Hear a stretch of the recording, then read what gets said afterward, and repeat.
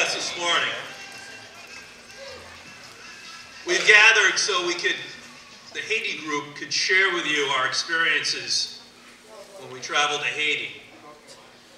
From April 2nd to April 9th, 16 members of our school community, actually 15 members of the school community made the whole trip, went to Haiti to build a house and to work with Be Like Brit Home for Children.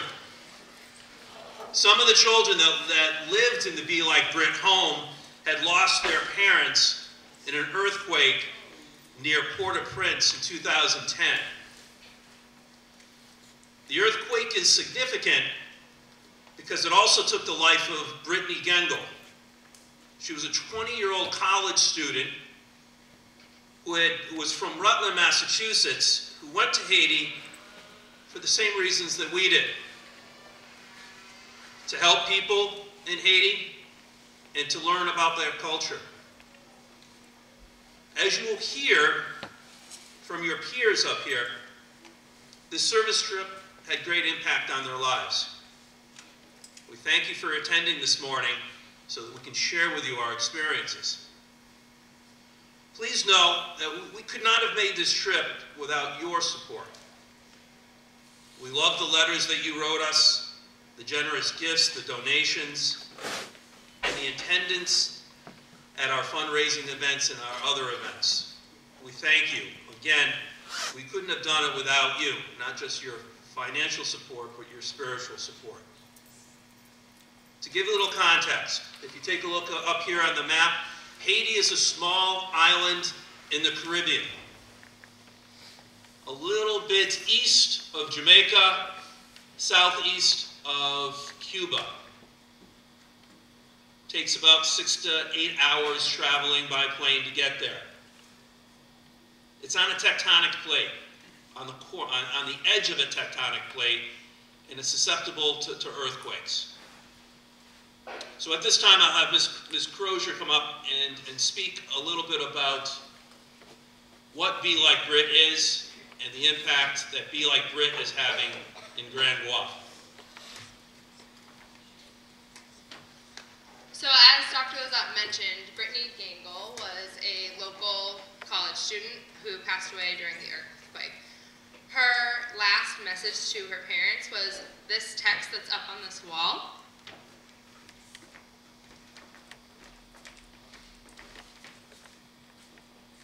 So she said, they love us so much.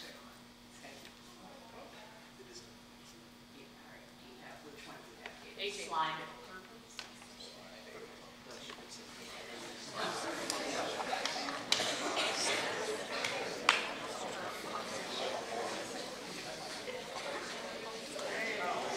So her last text message sent to her parents was this. They love us so much. Everyone is so happy. They love they own, what they have, and what they work so hard to get nowhere. They are all so appreciative. I want to move here and start an orphanage myself. So Brittany was down doing a college service trip over her um, winter break when this occurred, and she sent this text message, and a few hours later, perished in the earthquake. She was missing in the rubble for 33 days, which is significant because that is the number of children in the orphanage. So they have 33 boys and 33 girls specifically because that's the number of days she was missing. So Len and Cheryl and her parents work very hard to maintain this orphanage. Um, they have basically now dedicated their entire life to building and helping all these kids out in the local community in the area. So they house the kids, and within the orphanage itself, they have tons of employees. They're the biggest employer in Grand Goave. So they have over 200 employees currently, and they're all working on a nonprofit basis, so every donation goes to help pay for the children and the employees. So what I'm gonna do now is have the kids kind of talk about their experiences. They picked some major topics and themes that mean the most to them. And you guys can feel free to ask questions at the end, okay?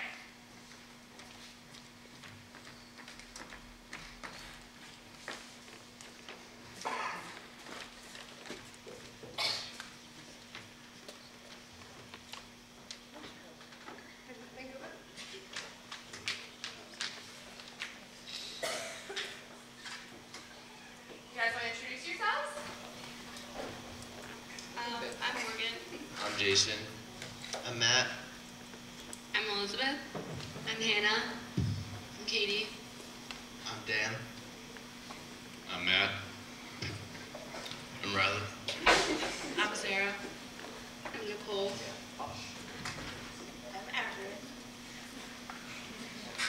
So the first thing that guys are going to talk about is daily life as a missionary is what they call you when you're servicing the orphanage and being with the organization down there. So every morning we would wake up around seven, and we had to be out of the house by eight. So we had to shower by then, eat. We had bagels every single day, so there really wasn't a choice. Rushed. Right to your mouth. Um, alright. So there wasn't really a choice of what we got to have for breakfast. So it was bagels all day long with peanut butter and Nutella, basically. So we had that seven days out of the week. A little bit of information about the compound itself. You can see it's shaped in the letter B. Um, that's, you know, Brittany's first name, so they decided that's why it's B. And um, on top, I don't know if you can see it, but there's a black tank, and that's where they store rainwater that they acquire, and they actually give a thousand gallons every day to the community around them. Just a little information about the place. Um, so after we'd eat breakfast, we would go to the work site where we were building the house, and we would spend um, from 8 to 12 there, and just like doing whatever task they had for us that day.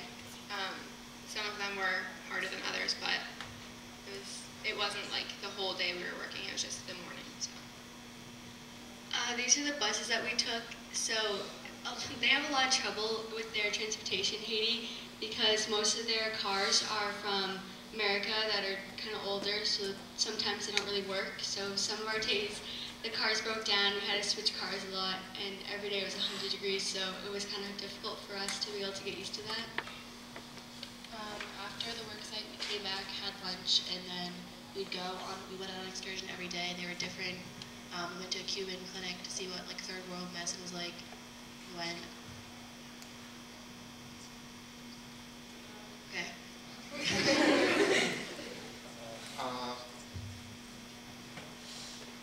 So every day we would have lunch and dinner and breakfast in this area. And so we would talk about like, the- we'd like look at the view and, and, um, just like talk about what we're either gonna do the day or what we have done that day.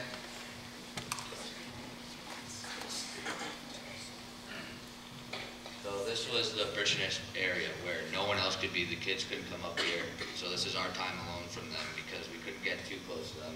It would be like emotional breakup, like when we leave, so we'd have to take a break and not hang out with them all the time. So that's where we would go to talk about what we did and how like how hard the day hit us because we built a house for people that didn't have homes and it was hard work.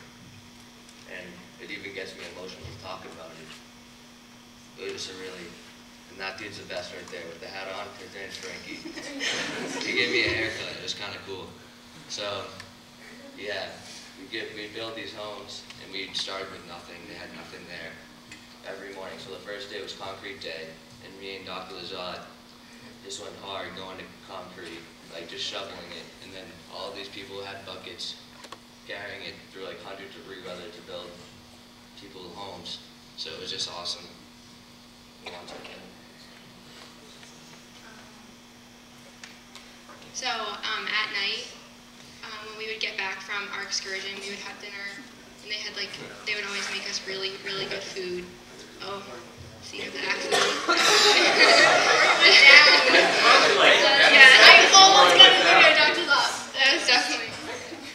So um, every night, the kids would do like different activities that we could um, join them in doing. So, like my personal favorite was they would do like dance parties, and it really wasn't like a dance party. They would have really loud music playing, and everyone would just kind of like run around like crazy. Um, and I know that like some people learned a lot of the dances. I personally didn't, but um, they were pretty cool, and their music was like really good. But um, and then sometimes they would have like English classes or movie nights, or we would go out and like play soccer with them, which is like their favorite thing to do. They do that all day. Um, yeah, they're really good at soccer. I mean, they, they juke some of us out.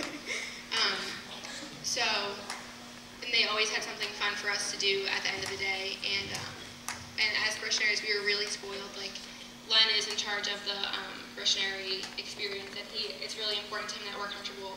So they do um, like we have air conditioners, we have a refrigerator, we have obviously we have clean water. So we're really spoiled when we're down there.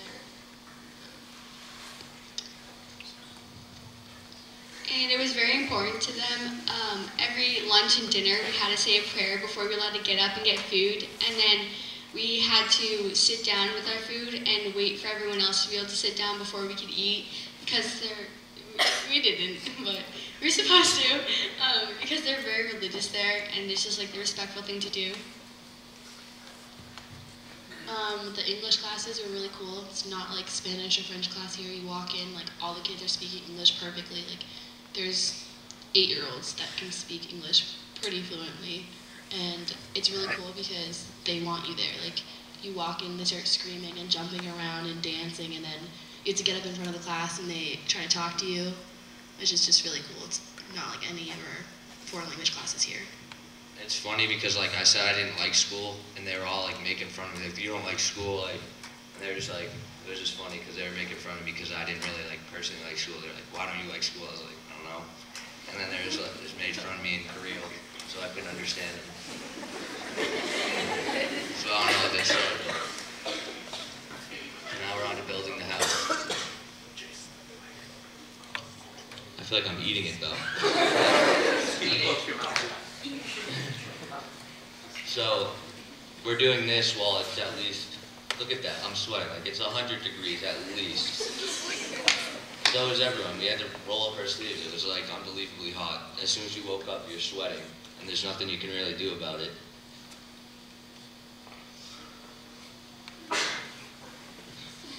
Um, so the first, like, we were really, like, we definitely could not build a house. Like, I, I know, I have no idea what I was doing, but like, we had these really awesome um, Haitian workers that worked with me, like Britt, who like kind of taught us. So they um, like kind of taught us how to do everything. I know, like the first day, like the hardest thing was hammering. Like it sounds like the easiest, but it was the hardest thing, and like it took so much patience. What? it took so much patience, and like it was just the worst job ever. And like they always taught us and pretty much did it for us. So. And also, it was hard because like the material we were using wasn't like the best with the nails. So as soon as you hit it, it would bend, and then you'd have to try to strain it because you have to use everything possible. Like you can't really waste anything there. So like you screw up, like it means a lot for you to screw up. Like, everything is needed, so like you can't really make too too many mistakes.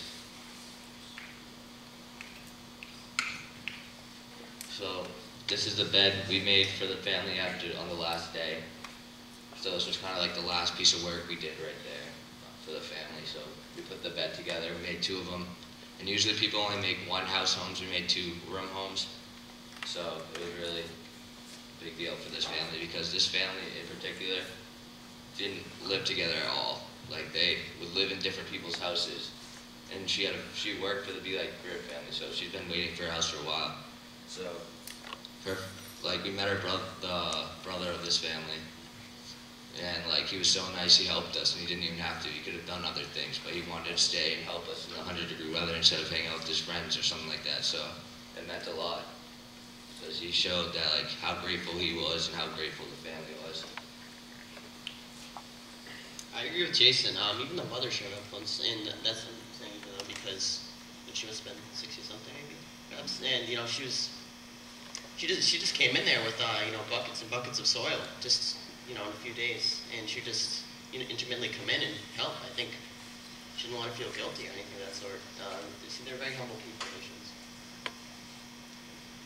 Um, at the work site, we would meet um, like little like the kids that lived in that area where we were building the house. So we were like kind of right in the center of town, and it was like a super busy area. So there was like always people coming in and out like to see what we were doing. And um, Megan and Jen would always say to us like the reason that so many people would come and watch was because like they didn't really have any other entertainment, and like they didn't. A lot of those kids don't go to school. They don't really do anything throughout the day. So like watching us build the house was like entertainment for them. And um, I know that like I had a good relationship with the kids that were at the work site, even though like there was a language barrier. It never really felt like there was. It was just like just nice to be like in their presence, I guess. And um, I think like that was, think that was like probably one of the most um, important parts for me was like having a relationship with those kids. So. Um, okay, so Elizabeth said that hammering day was the hardest for her. But I think that for some others it was concrete day because we literally just had to shovel buckets of concrete. They're pretty heavy for four hours in the really hot sun. Um, yeah, I got, we all got some cuts and bruises. And, like we really, yeah, we really slowed the workers down too. So it was just really good for them to be able to help us even though we were, like, they could have built the house in a day by themselves. So it was great. We were grateful for that. Really, really quickly. Um, like Elizabeth said, the kids at the work site were my favorite part. Um, it's hard, hardest leaving them because you don't know like what they have. You don't know if they have clean water. You don't know if they have food even. Um, there's one girl, Sheena. I don't know if she's gonna be in any of these pictures. She probably will. She's like eight years old, and she's the cutest thing you'll ever see. Like all these kids, even though they have nothing, they're always smiling. They're always happy. Um, they loved us, even though they were a little shy first. Like within a day, they were jumping on us as soon as we came in. Yeah, like an hour, not even. Um, and then like the last day, like, it's kind of hard with them because they don't really know English as well. Even though the older boy did, the son, the guy who was helping us build his house. Yeah, he knew English pretty well. But like the little girls, they don't know and they don't go to school, so they were just sitting there all day with us. And then like when I left, I didn't know they knew my name. I didn't know anything. But she was like, Katie, don't leave. And then she was telling me and Jason to like take her with her, and it was really hard.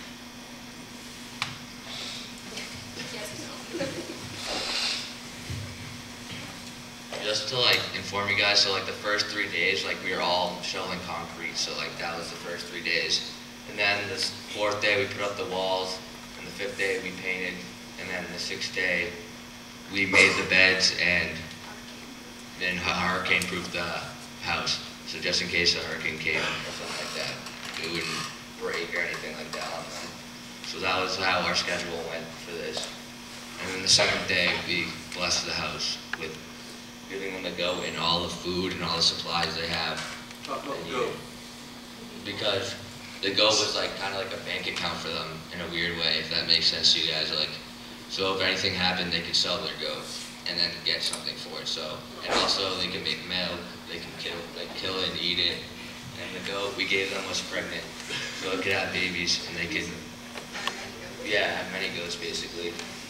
So that was kind of, that picture's kind of like how it happened. So I would shove me and someone would shovel the buckets and then we'd transfer it to that like uh, foundation right there and put the concrete in there. And then Carry it. they'd- yeah, Distance. carry it, yeah, somewhat of a distance because where we had the concrete, there, there was the house and it was kind of far. So we had to walk through a path and then there was a street right there, the main street that was kind of dangerous because like, yeah, the, like the cars were crazy. Like they didn't, they didn't know like anything. They would drive through any distance. And, like the motorcycles drove on the side of the road, like it was crazy. So it was dangerous to be that close. So like when I would get too close, like the workers would be like, back up, back up, like anything could happen. So it was kind of a distance we had to carry the material to get to the foundation. So it was kind of laborious.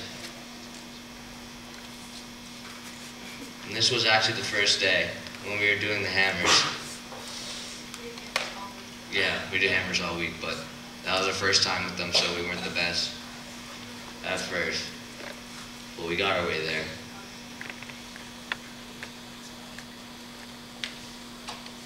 So that, go back one. So that was the bus we basically took every single day. And that was our driver. And we had to carry, so there was a lot of use for water. So we had to use the water to mix the concrete. We had to use the water. What else we had to use the water for? Oh yeah, just that, never mind. and drinking. And the thing was, it was weird to drink water because like all these people around you didn't have water, so you felt bad when you had to take a drink of water, and like or you had to take a snack break or anything like that. Like I didn't take any eat any snacks. Like at the end of the day, I would give my snacks to people around me because I knew when I got back, I was gonna eat. I knew they weren't gonna eat, so I would give my food and give my water to these people. And most of everyone else here, they gave away all their stuff as well because they knew. We all knew they'd have anything. Um, Yeah. sorry, just another thing about like the water. When like when we gave it to them, instead of one kid, like they were like four to eight years old or whatever, instead of just drinking all the water for themselves, they made sure they only took a couple sips of it and then shared it with their siblings. And then we just go back and fill it more, and they just kept sharing it instead of being greedy, which is really cool since they don't get that every day. And um, I would just like to talk about Frankie for a second, Frankie and Madonna, because like they were awesome. And um, like we, it's super important that we talk about the kids at Be Like Brit, but um, the staff are just as important. And they like are all amazing people. They are like so excited to learn English and to like learn from us when we go see them. And um, I know that like for me, Frankie and Madonna, like I'm never gonna forget them. And um, like they were just like the life of the party, and like they were friends with all of us. Like they never made us feel excluded. They always made sure we were safe. And um, Bijou, like he always had our back too. um, so yeah. So that, that was Alexander, and I uh, been really close with him, so it was hard um, be separated from him, so I hope he's doing fine. But at this orphanage, everyone's doing fine. The kids are really blessed to have a meal every day. Because outside the walls, people have nothing, so like they know that, so they're just grateful for anything they get. And we actually, while we were there, we had someone had their birthday. I forgot her name, sadly. But Mary Casson. And she had an infection in her eye. That was really sad. So like she had to wear glasses on her birthday because like she couldn't even like see out of her eyes. So it was really sad. They all had the eye infection, and they would like come up to us and like open their eye and be like, "Look, look!" It was disgusting. A little bit about the, the, the kids from the orphanage. There's 66 kids that live in that building. Some of them came from Port-au-Prince after, after the earthquake, who had lost their parents. But some of the other kids came from, I would, what they call the mountains. Haiti is very mountainous. And the road, main road that Jason and everyone was talking about is the only main road on the island. And it's on the coastal plain. So to get to the interior of the, the mountains, you have to, as you will see in some of the pictures, you have to climb through these areas. And when they were building the orphanage, uh, Len and, and Cheryl, people would bring their children or a child to them. And this child had experienced either something very traumatic medically or mentally. And that they, and they would just accept them in. And mo- most of the time that these children were from miles and miles and miles inland, where there's no roads and very little services and very little resources to, to, to live. So some of these kids that you're seeing the pictures of, they're smiling, but they've gone through a lot of trauma in their lives. So the, the idea that you make these connections with them, of course, they, they love the, the, the affection. And as, as I'm seeing from the pictures and the time that I was there, uh, the, the students here really connected very well with them. And you can see how it brought a lot of joy to these children's lives that didn't have, that had a very difficult life before they were in, in, the, in the home. So like think about this, like these are the worst case like scenarios that they came from. So like a lot of people live rough outside the walls, but we accepted them because they the Breed like Brit people accepted them because they probably had the worst. Out of the worst basically because they're already everyone outside the walls is already broke and have no money and don't have any food. So what happened to them? I can only imagine. They wouldn't even allow them to tell us. And they're still so happy at the end of the day. Like as soon as we came there, we were accepted with open arms. They were already hugging us. They were already like wanting to play soccer. They they were just so like unbelievably happy, even though they don't have like the stuff we have, like phones. They don't have anything like that, and they're just happy. And it was just really like a shock, a shock to me. And like, look at that. The cart doesn't even have two, like, the four wheels on it. It has two. And we are still playing with it, and they're still having a fun time. You know what I mean?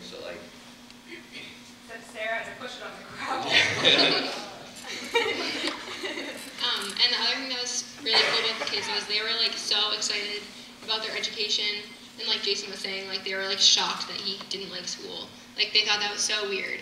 And um, and like we went to um, a school at in Grand Goave that some of the kids go to, and like the differences between their school and our school was insane. And it just makes me like appreciate like our school.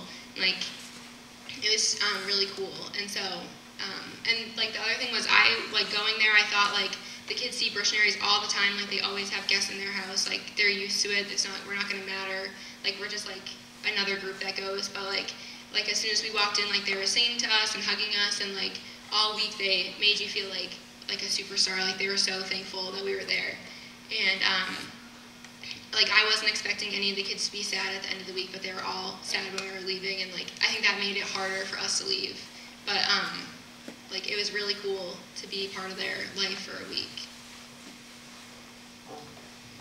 One more thing that they thought was weird was braces. So Dan and I are the only people on this trip who had braces, and obviously they don't have that luxury. Like they never seen them before. So I, the first day I got there and I was smiling to all the little kids, and just saying hello, and every single one that like came up to me, and they were terrified at first, and like they tried opening my mouth and like taking them off. And then actually a couple of girls actually ran away crying to their helpers because they were so terrified that they thought like I was gonna hurt myself or something. But it's really cute. At the end of the week, they were fine with it, and they still love me just the same. Okay, so I want to talk about some of the night activities that we did with the kids. Um, one night we actually helped them with reading, and like some of these kids are three and four, and they're already so good at it, and they're reading in French, Creole, Spanish. Like I can only read in like two languages, and that's like barely even two. Kids were just amazing me every day, and they're so smart, and they make the best of whatever they have. Some of the books were missing pages. Some of them were completely ripped. Some of them were soaking wet, and yet they still grabbed them and they loved to read to us.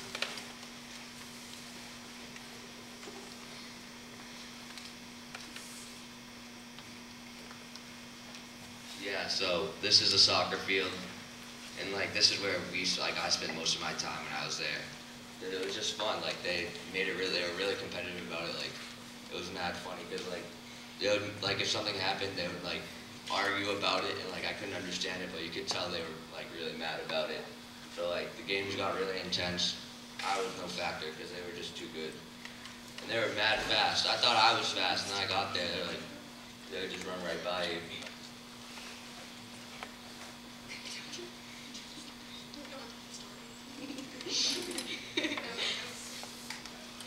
They also had a volley. They also had a volleyball. So this was right next to the Cuban clinic, and we just thought it would be a good picture to take. Basically, we took it. It was really nice. So we were outside the Voodoo Temple right here, and it was really weird because, like, it was about spirits. So like they had these colors because the, the spirits like these colors, and like they would spend weeks in time at there instead of going to the doctor. Sadly, like say you get a cut in your arm and it's infected, they would rather just sit there than go to the doc the doctor because the doctor is way too expensive. So they would put their money in going to the voodoo temple and hope the voodoo doctor would help them. But for the most part, like you wouldn't be saved if you had an infection here. um, our like Frankie that I was talking about before, he um, right before we got there, he had like an infection or something in his foot, and he said that he went to the like that um, his brother like saw something in his dreams that told him like that Frankie was in trouble and like all these weird events like that led to Frankie to believe that like someone had purposely injured him so like they could take his job. I said somebody cursed him. someone curse him, whatever. Um, so like they like they just believe that like people are always wishing bad things or good things on you, and so like the voodoo priest is supposed to like heal you and like pray over you, so then like that person will get kind of what they deserve, like whether it's the good voodoo or the bad voodoo. It's like really confusing, but it's like really disrespectful to question what they believe in. They kind of, it's kind of like karma. They said. Yeah. Uh, to say. and it's like weird because they're also super religious so it's two things that we would never pair together but um, i think like there's like i think two main religions in haiti and so it's like the um, community is kind of divided between those two, but like every person believes in voodoo. So it's like, um, it's a really important factor for them. So this was on Mission of Hope, and this was a high school, and they also had a church at the same time. So we went here. This is a Cuban. You just skip. This is a Cuban clinic now. This is where Dr. Lazat went. So you know better than me. So we were there for a little bit, and like you know how like a it's usually clean, sanitary, has a lot of stuff in it, but there's like, uh, there was nothing like anything in there.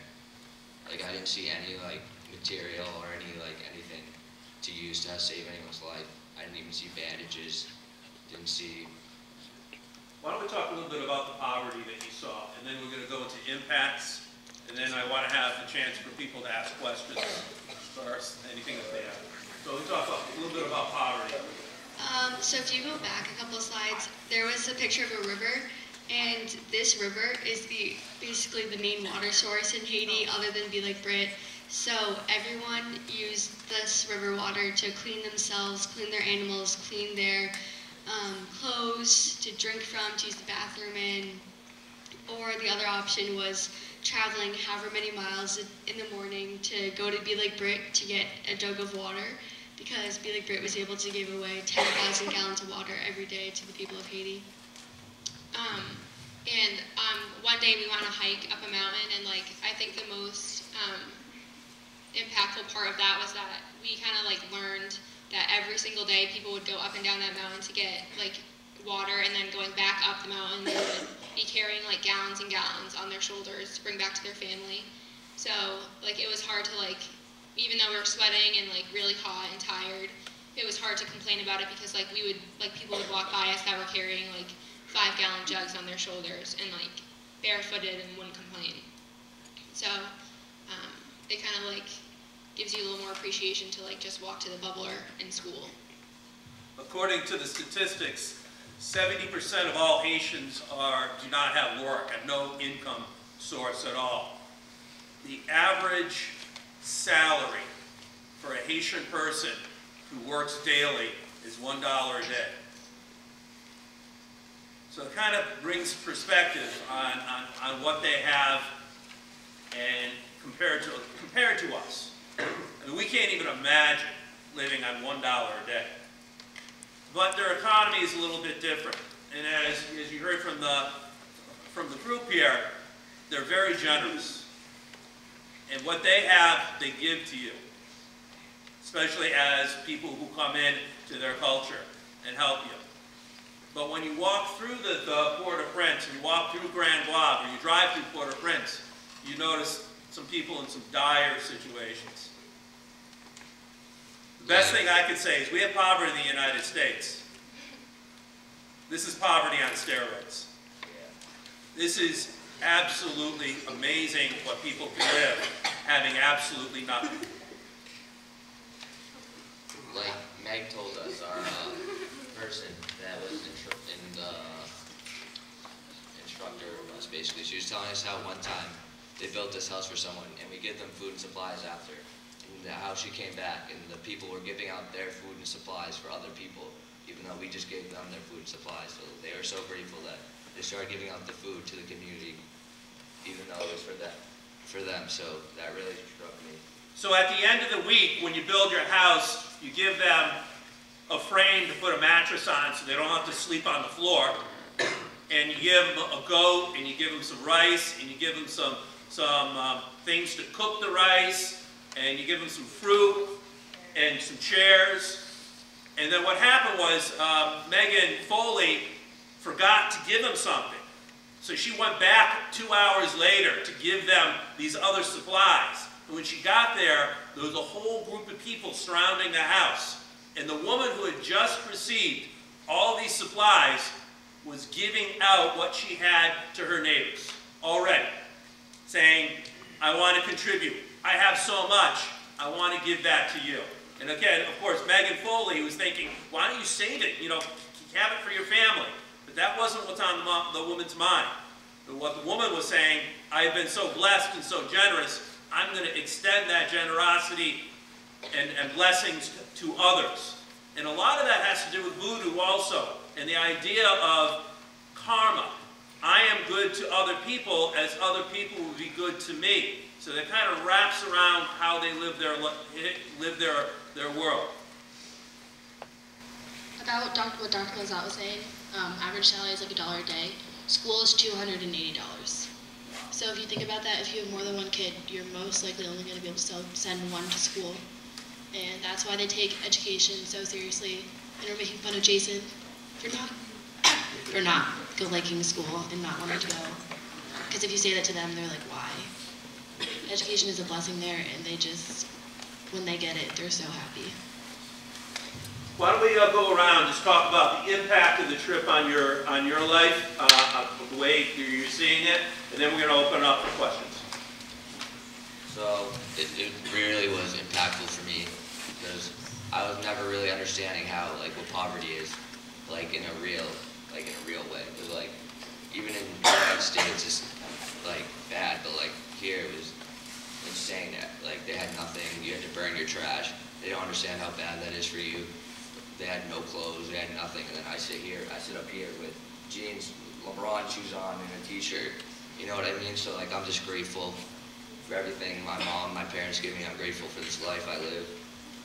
It's just insane because like it's just hard to see what people go through and then see your life. So I just want you guys to think about it like that. Even if you guys aren't doing good, just think it could always be worse. Um, So I think coming home was the hardest part because we just spent a week in Haiti and we were surrounded by all this poverty. Like if you picked up kids, then you could feel every single rib on their body and their spine. And it was sad, but knowing you could come home to like a warm shower, like clean water, that you didn't even have to think about drinking. Like you can get food. It was just the guilt of having that when you just left them there and they have nothing and there's nothing you can really do about it. I think that's what hit me the hardest. Certainly agree with both of you, especially Jason, and that um, it really made me appreciate you know, all these photos and videos I've seen of people who die of poverty. Um, it really made me realize more and actually, you know, connecting with people, communicating with people, sharing jokes with people um, in Haiti is that they exist, and as we speak, they're speaking with their friends, they're walking miles for water, and you know they exist. I've seen them, and it's it's really remarkable to know that they're suffering as I suffering that I have. So it's really Um, I think the what had the most impact on me was seeing these people that had nothing and like still go out of their way to talk to their neighbors and like make everyone feel loved and um, like they're just such happy people. And um, I think that's something like that we miss. Like they're so they're not worried about where they need to be or who they need to be with. They're just like enjoying the moment that they're in and the people they're with. And they just like make the best of every situation. Um, even though like we would look at them and be like wow like you have it really hard. Like they would look at it and be like actually like my neighbor has it worse. Like i need to be helping them or i need to be doing this or like they're always looking out for the people that they love and they like pretty much love everyone around them.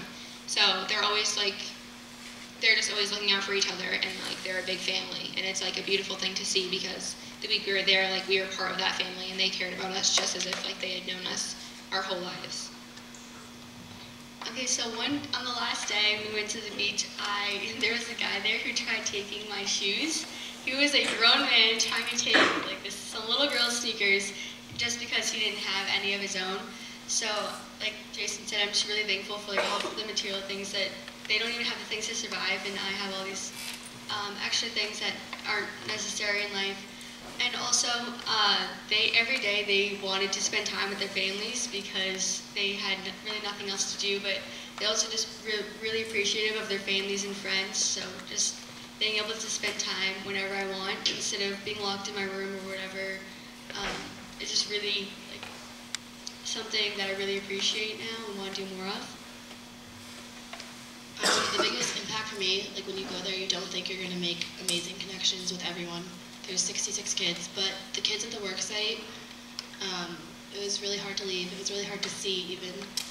But I remember like the last day when I was leaving, like every other day they were fine. They said their goodbyes, but like the last day, she was saying like, no, come back, come back, like take me. and that was just really hard. Probably the biggest impact for me was seeing everybody so happy in such a terrible environment. And it showed me to, no matter what I have, to always be happy and thankful for everything. And even if like some things get kind of hard, to look at the bright side of everything and see what good can come out of it.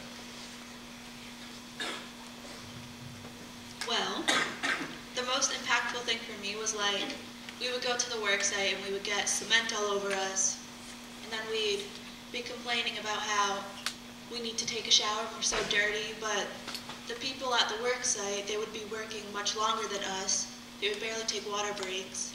And like they didn't have a shower to go home to.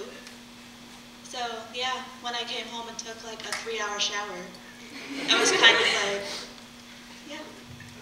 And um, you like we can't like force any of like these lessons that we learned on you guys. It's just like we're not trying to like rub anything in your face or anything like that. Like we just like like what we learned there is something like I know I'll carry for the rest of my life. And like I think we hope that like like from hearing the presentation and like if any of you get the opportunity to go, that like you can like just think about things differently than you think about them now. And it's like kind of hard for us to explain to you in words. Like it's more of like a feeling when you're there. But um, I think like the main thing is just like to just like be happy with what you have and like know how like truly blessed you are. Like even if you think that you're not. Like so like think about things from different perspective. So right now we want to open up the floor for questions. So Dr. Lazat has a mic. Um, if you want to ask anyone anything about what you saw or what they said, feel free. Just raise your hand and we'll try to answer it for you.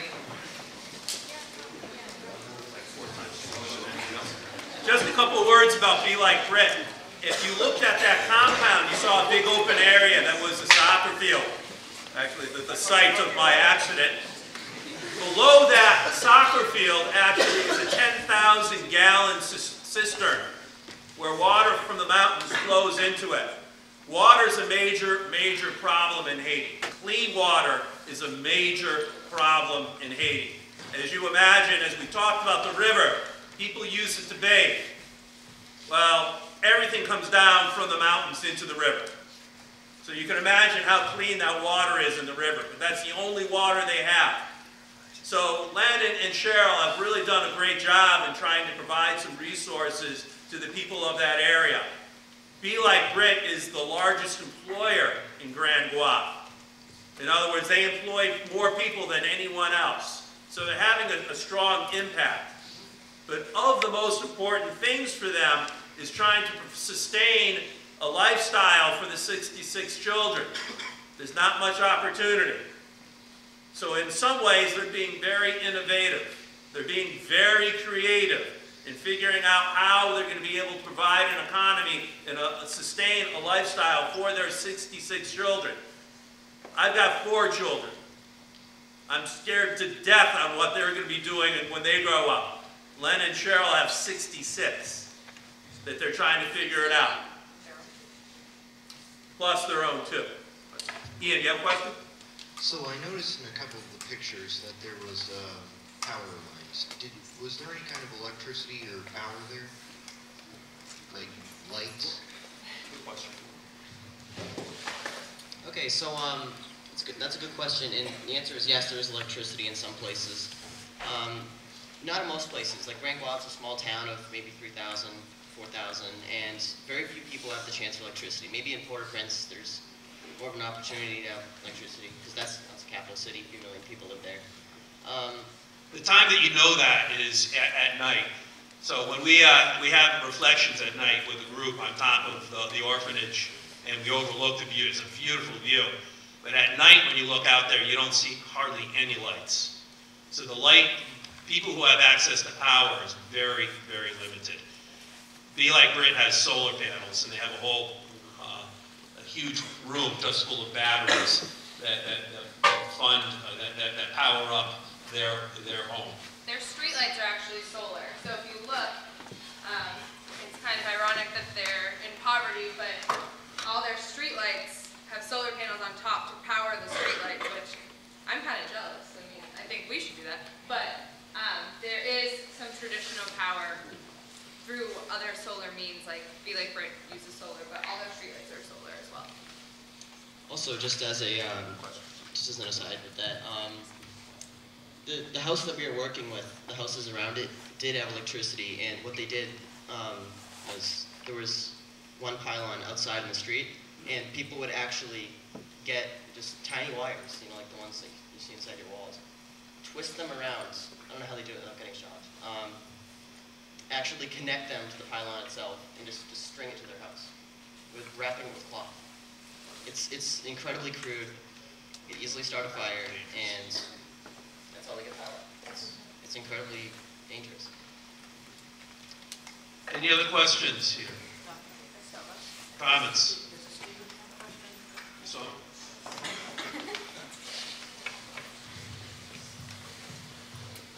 Well, um, as I'm stopping crying, sitting here, um, I can't tell you how you've touched me today to see that our students from West Boylston got out of their comfort zone and did something so incredibly hard. Some people didn't talk to you today. Some of the kindest students I've ever had in my existence here at the school are sitting down and not saying a whole lot. But boy, they're kind people. And the fact that all of you um, took this upon yourself to get there, and now the death of, of Britney Gengel at 19 years old, what her parents have done so much, you from our school are going to bring this out because I know you're not done. I know you're not done. You said something about reading. Are you kidding me? We can't put together books to send down there? Are we are you kidding me? We what we have and what we could do. I am so touched by your comments, and by the way, excellent speaking there today, those of you. You really touched my heart a whole lot. And I can't thank you enough for, for what you did. How has it not changed you forever? Forever. And then hopefully some of your colleagues and your friends here will be changed in some way. I am extremely touched. I couldn't be happier to have worn your Be Like Brit yellow. Thank you very much, Ms. Silva. Some applause for our uh, participants. Just a few words before uh, you go back to your classes. You guys, this is this is all wrapped around you know our our theme of leadership this year. And when I when I mentioned earlier that we couldn't have done it without you, honestly, you can't do things like this without support of a community. I know I speak a lot, and I, I know I spoke a lot about Eric Greitens, the, uh, the, the, Navy SEAL who went through SEAL training and talked about how he got through it. Remember the book that we read, uh, Warrior in the Heart, early in the last summer? Well, this has a lot to do with that. Our people, your, your friends who went to Haiti, they needed each other when they were down there. It wasn't easy at times. It was hot, and we were experiencing things in terms of poverty, in terms of cultural differences that were quite radical. But we also knew that you were here, and we knew that you supported us, and we thank you for that. If you have, you just don't need to go to Haiti for community service either. And that's an important message that I want to make. How you treat others, even in our own community, is very important.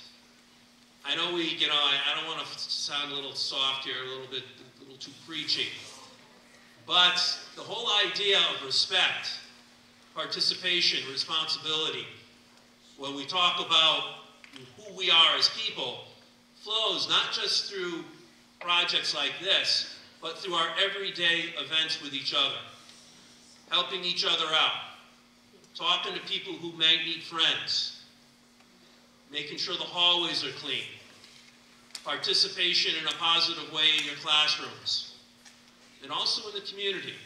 And I know a lot of you are involved in the community in different organizations. That's all part of the big picture. If you're fortunate enough to go to a project like this in a third world country or developing country, it's impactful. It kind of frames it. It kind of says you get back here and you say, I am fortunate. I have a lot to give. I have a lot to offer. And that's where you begin. You begin with offering it and helping and being a good person in the community that you're in. So thank you for your attention. One more applause for the people up here on the stage. If you have more information, if you want more information about please come see me, Ms. Ms. Or anybody up here on the stage. And uh, they, they do trips about five, ten times to 20 times a year. Take care now. Have a good day.